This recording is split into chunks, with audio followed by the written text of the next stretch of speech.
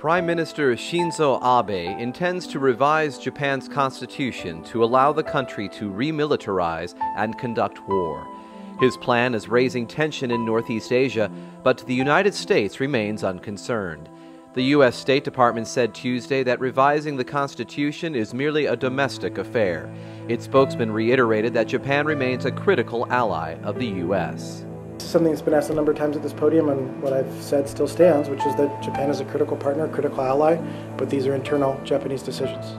But again, uh, we see a whole host of uh, remarks that's considered uh, not only nationalistic but also historical revisionist by some uh, analysts. Uh, are you concerned that those remarks by Prime Minister Abe might stir up tension in the already, already tense uh, region, Northeast Asia, that would eventually hurt U.S. interests there?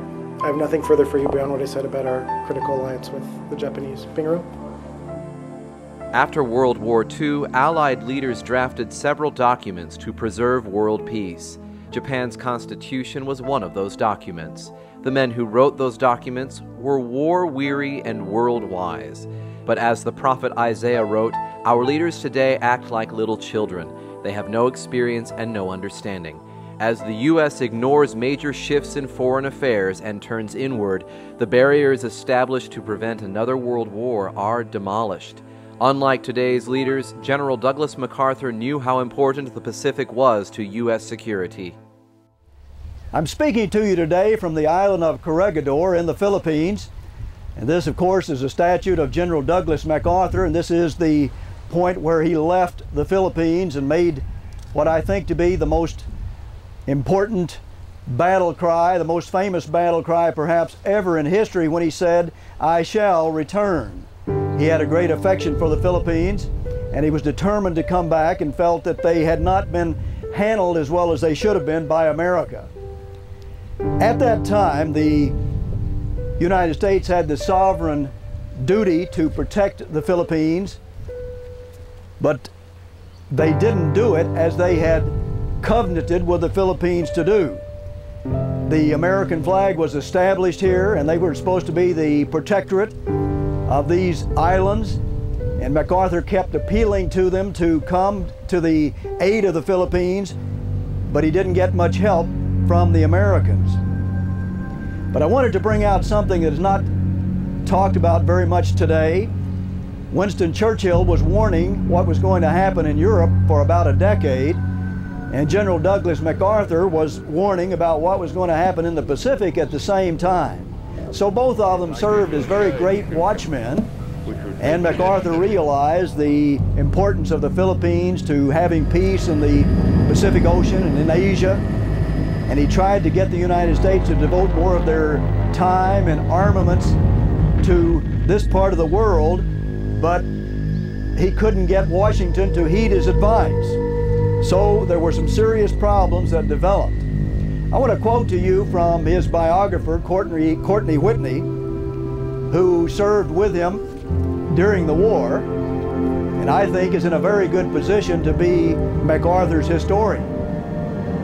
But notice what he said about General MacArthur's overview. He said he almost alone had foreseen that a strong defensive position there was vital to the preservation of peace in the Pacific. Almost alone he saw that, nobody else really did. He almost alone had fully realized and assessed the U.S.'s moral and legal, legal obligations to protect the Philippines. This gets into the issue of the importance of character in our leaders.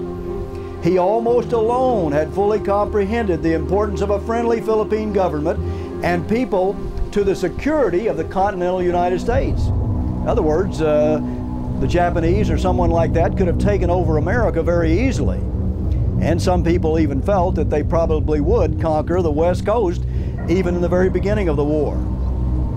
Mr. Whitney goes on to say, he almost alone had fully understood the vulnerability of our western seaboard should our outpost of friendly islands in the Pacific fall into the enemy hands.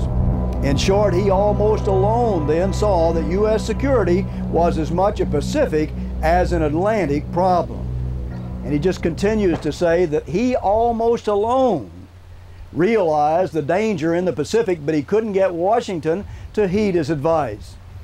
And so, about the same thing happened here as happened in Europe, though the European theater gained a lot more attention.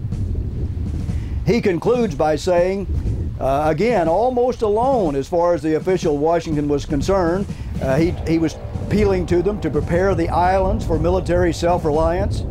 By law, the Philippines were to be separated from the sovereign protection of the U.S. on July 4, 1946. In Washington, the administration and Congress only listlessly considered the need for defenses in the Pacific. There is a prophecy that God talked about in Leviticus 26 and verse 19 that He would break the pride of our power. That's an end time prophecy that we've proven many times. And already at that time, you could begin to see the American people and the American soldiers not having the power and the will to win as we have had in the past. If you look around today, where are the great leaders like General MacArthur and Winston Churchill? I mean, really, that's a, a, something that is discussed publicly all the time, repeatedly. Where are those leaders today? I don't see them.